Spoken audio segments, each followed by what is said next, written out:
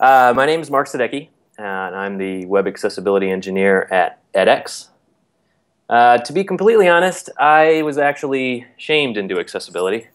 Um, back in the year 2000, I was working as a subcontractor for uh, MIT's OpenCourseWare project, uh, writing HTML templates. Uh, I was invited to campus to test some of my work in their usability lab, uh, which is where I got my first experience uh, with assistive technology. Um, I watched an MIT assistive technology specialist and web developer, um, Richard Caloggero, who I, I still get to work with to this day, um, attempt to use the template I had designed uh, with JAWS, his screen reader. And uh, I was completely embarrassed at how hard it was for him to accomplish simple tasks, all the hoops he had to jump through and the hacks he had to use. So I went back to the office and tried to figure out what I did wrong. Um, and the conclusion I came to was all I had to do was, was follow the rules.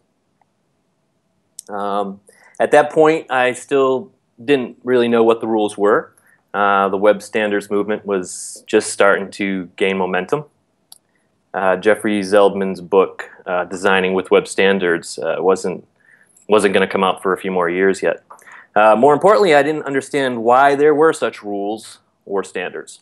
Uh, I soon learned that you have web browsers over here, you have assistive technology like screen readers and magnifiers, um, voice input, and you have hardware devices like keyboards and mice. And if you want all these things to work nicely together uh, on your web page, they need a reasonable, reasonably limited set of parameters and rules that they can that can follow, that they can expect, um, uh, and web standards.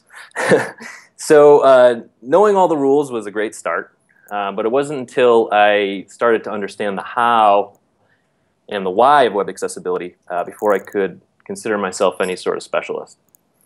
Uh, the how is knowing how assistive technology interacts with those other layers in the stack.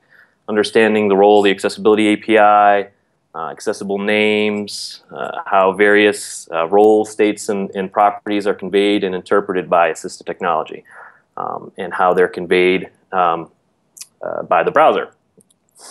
Uh, the why is really just understanding the human impact that good or bad code has on end users who rely on assistive technology uh, to use your app or to consume your content. Uh, I had the benefit of working for almost 10 years at the Carroll Center for the Blind in Newton, Massachusetts, uh, building apps for a primarily disabled audience. Uh, working directly with disabled users and seeing the joy on their faces when an app behaved and responded uh, exactly how they expected it to uh, was enough to motivate me to never compromise um, and to always build great interfaces that everyone can use. Uh, I realize that not everyone out there has an opportunity to experience that firsthand, um, but I just want all the developers out there to know that the interfaces they design are not just used by able-bodied mouse clickers, and that thoughtful interfaces and code can make a big difference for an audience that's often not even considered um, and who probably appreciates it the most.